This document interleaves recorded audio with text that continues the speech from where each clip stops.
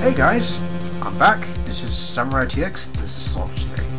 Last time we left off, we um, um, exposed Miss May for tapping the victim's phone, um, but obviously she's escaped her way out of this, it seems, by saying she delivered iced coffee. So, Snake, what do you want to do? What do you think we should do, Snake?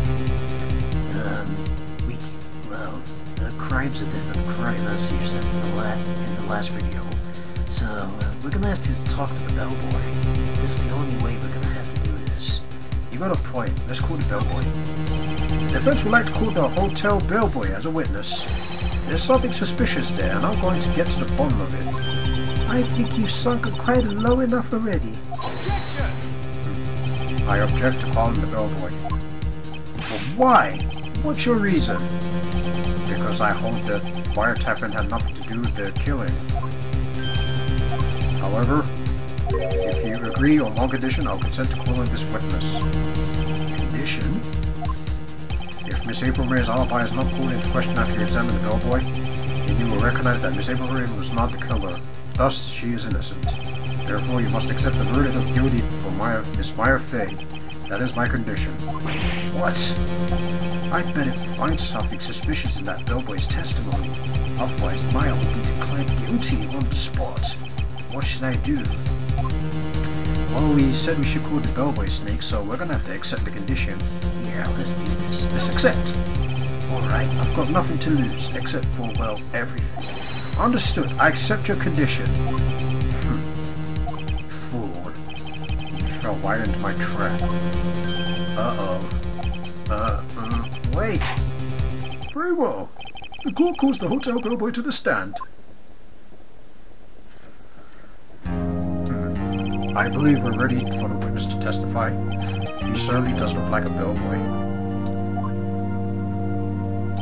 Yes, sir.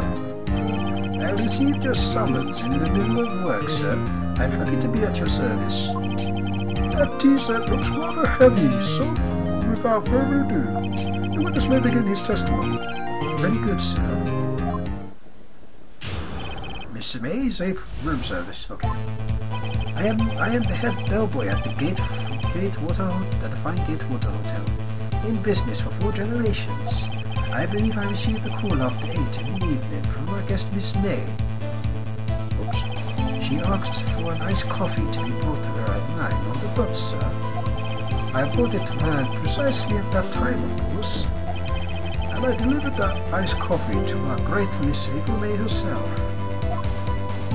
I know it doesn't sound posh, but sorry, I can't do a posh accent, but I tried to do it the best I can to make him sound posh, because bellboys do sound a bit posh. sorry. I see. The defense may begin its cross-examination. Right, I'm ready. I hope. This is it. If I can't prove Miss April May was involved with the murder now, Maya will be finished. Looks like we're gonna have to press because he's not got a contradiction there. So let's press every detail on this. What exactly is it you do at the hotel? Why, anything required of me, sir. I check in guests, I check out guests. I clean rooms, I make beds. I even deliver room service, sir. You do this by yourself? You don't even have no staff? Wow, that must be hard for you, bellboy. I checked Miss April, Miss May personally. Are you always so, so prime? Mr. Wright, you will refrain from asking frivolous questions. I believe I received call. Press. Are you sure it was Miss April May on the phone? Absolutely, sir. But how can you be so certain? I checked Miss May personally, sir. Not only did I see her in her stunning radiance, but I also heard her voice. And then I saw them, and I... Ahem, uh, ahem. The point being, I remembered her quite well, sir. Yes, well, what then? hmm Press on that. Nine on the dot, you say? Yes, I confirmed that detail several times. She was watching a program on TV and I wished to drink. And wished to drink after she finished, sir. Nine on the time of the murder. Press again. Precisely 9 then? Precisely, exactly, and most definitely, sir. 9 p.m. How can you be so sure? Miss May was quite insistent that it would be brought then. Oh, bellboy, TV. I'd like, like iced coffee at exactly 9 o'clock. Something like that, sir. Therefore, I knocked on her door at the crack of 9, sir. Uh, why would she be so particular about the time? Press again. Got to press the details because he's not lying, really. He can't, you can't accuse the bellboy of murder if, he's, if he works at a hotel. Are you sure it was Miss April May herself? Absolutely, sir. Absolutely. Yes. As in, very, so very absolutely, sir. It's an endearing mannerism of mine. How can, how come you're so very certain? Well, uh, I brought room service, sir. She, she get the guest, sir. She favored me with, uh, with uh, an embracer, sir. Embracer? Is that French for embrace? It's French for kiss, sir. But not a French kiss, sir. More of a peck on the cheek. Well, why would she have done that? I believe perhaps she was momentarily swayed by my prim demeanor, sir. It was a moment I shall never forget, sir. Never ever. Sounds pretty fishy to me. I think Miss May was up to something she wanted to where to remember her. It's no good. There's nothing there. Is is that it?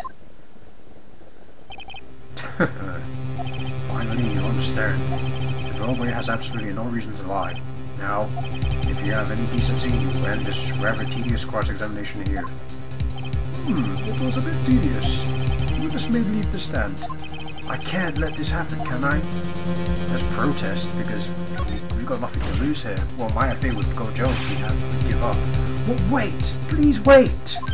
Yes, does the defense have something to add? One last question. Let me ask one last question. Your Honor, I must object. This charade of justice has gone on long enough. No, no, Mr. Edgeworth. All right, Mr. Knight. I'll give you one more question, that's all. Okay. This is really it. Now this is my last chance. What do I ask him about? Check him, then make him... No, that don't make no sense.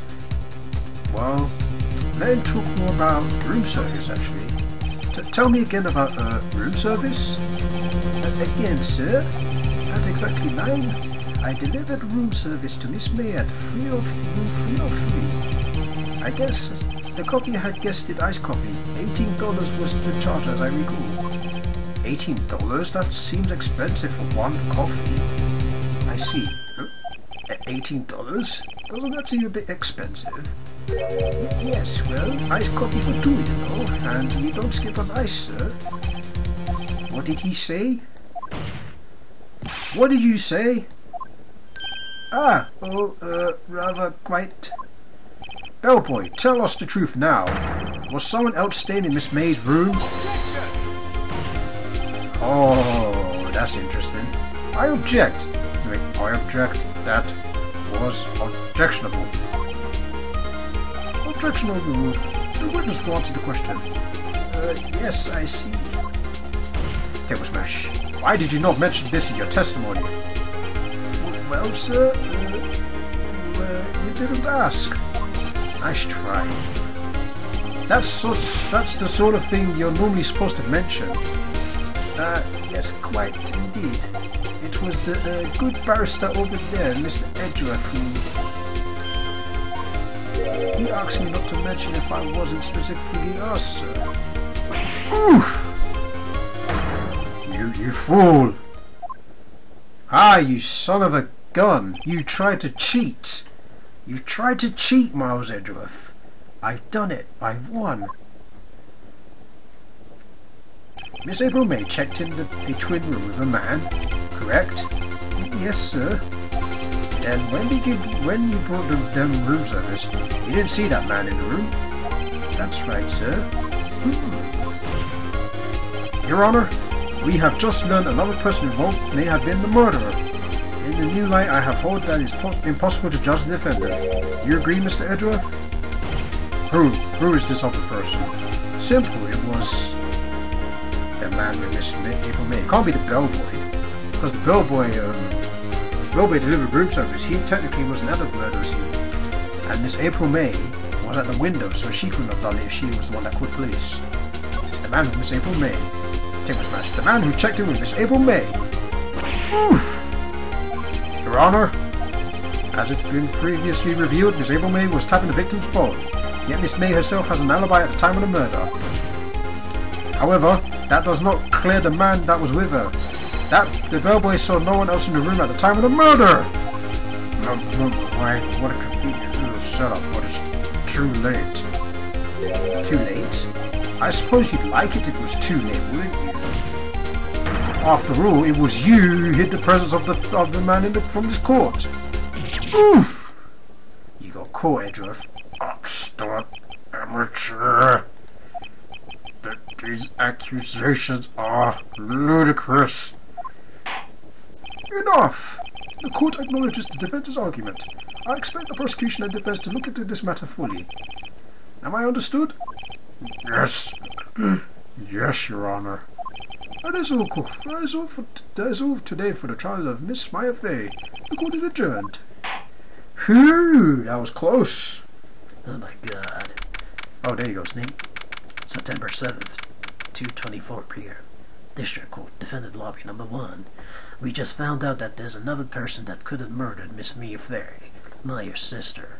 So Maya's been uh, not judged guilty or not guilty yet, so we're gonna have to do another investigation, it seems. That is correct, Snake. Mr. Wright, you were amazing in there. But really? I think I might be your newest fan. Oh, I was just doing my job, you know. then again, that other attorney was pretty cool too. Huh? That face of his, with his eyes, with his eyes wide and trembling lips, it sent shivers down my up my spine. If you say so. So what happens with me? Do I get to go home now?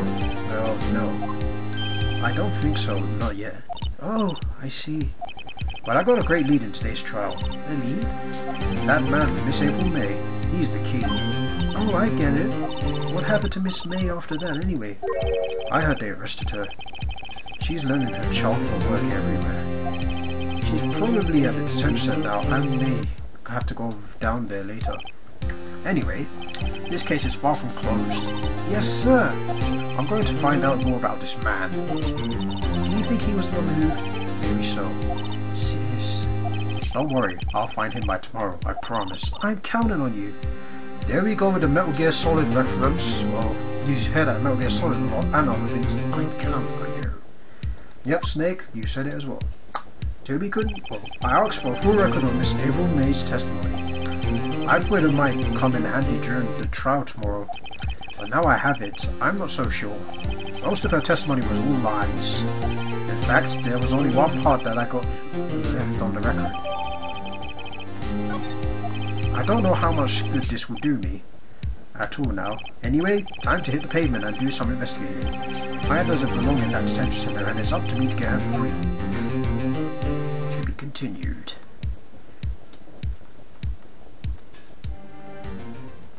I I actually like this theme. You know the um, jingle theme. Ah, well, that was only half of the trial. We got to do more investigating. So when we come back, folks, we will do more investigating and find out more about this man with Miss April May. Um, until then, until then, Thanks for watching.